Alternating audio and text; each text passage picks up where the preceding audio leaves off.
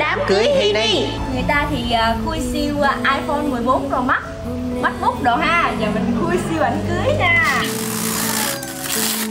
tới bây giờ á, hai đứa mình vẫn chưa tin được á, là hai đứa đã thành vợ thành chồng luôn á mọi người. Cái đám cưới tận hai ngày mà mình thấy vẫn chưa có đã chưa có đủ nha. Mình ước gì á, thêm hai ngày nữa cho nó đã. Với lại á, có nhiều thời gian hơn để tiếp đãi mọi người nhiều hơn chu đáo hơn nữa. Dạ thì Hini sẽ kể lại từ đầu đến đuôi về cái đám cưới này nha. Đám cưới này tổ chức bên nhà Ni Còn đám cưới bên Hy á thì tới tận tháng 8 lận á mọi người. Đám này mình nấu nhà nha. Cái này á là Ni đang làm nước chấm khóm nè. Bé cute phô mai que này á là bé bơ cặp nhà Ni á. Rồi tiếp theo là mình chuẩn bị bao lì xì để trả duyên cho đội mong quả nè cùng với một số hashtag chụp hình. Mọi người thấy nhiều chưa? Còn ở phía nhà dưới á, thì người lớn sẽ chuẩn bị đồ nấu đám nè. Có cái này Hini thấy ngộ nè. Chị em phụ nữ thì chặt thịt Còn đấng mại gâu ở bên này thì lặt rau lặt hoa rồi đó.